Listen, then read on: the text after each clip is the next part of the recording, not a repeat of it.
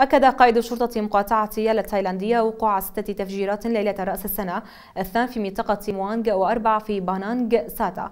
ونقلت صحيفة بانكوك بوست التايلاندية عن قائد الشرطة قوله في البداية أسقط الانفجار الأول مركزين للطاقة على الطريق السريع بينما انفجرت القنبلة الثانية في محطة كهرباء بالقرب من محطة كهرباء في بان فونغ ياراي وفي منطقة بانانغ ساتا انفجرت القنابل في مركز طاقة على الطريق السريع بينما وقع الانفجاران الثاني والثالث في محطة كهرباء وبرج إشارة للهاتف المحمول.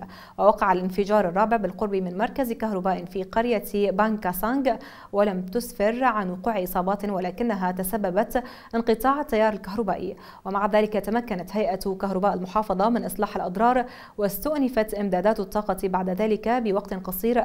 وأفاد بأن جميع القنابل صنعت محليا من أسطوانات مطفأة الحريق وأجهزة ضبط الوقت.